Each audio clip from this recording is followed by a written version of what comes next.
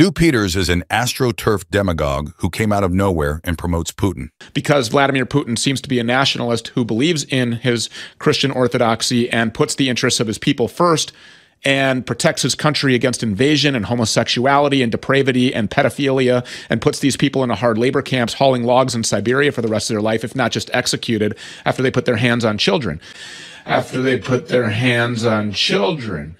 He approaches the boy, squats next to him, says something, and then he lifts up the kid's t-shirt and kisses his belly. Then immediately goes away. For several days, none of the officials commented on the incident, until Putin himself tried to explain it.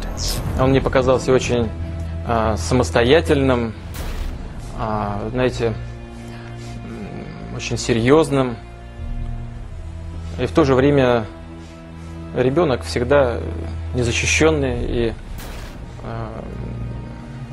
и очень милый был. Мальчишка просто, вот я вам скажу по-честному, просто захотелось его так потискать, как котенка. When Alexander Litvinenko exposed Putin's pedophilia, Putin murdered him, just as Putin has murdered countless journalists who have investigated Putin's crimes and lies.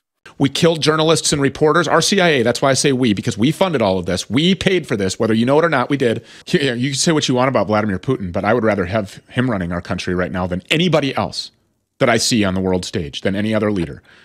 Vladimir Putin is an ultra Orthodox Jew, not an Orthodox Christian. Chabadnik Berel Lazar is Putin's rabbi, and Putin regularly celebrates the late Rebbe Schneerson, the Jewish Messiah. Putin builds mosques and allows China to rape Siberia.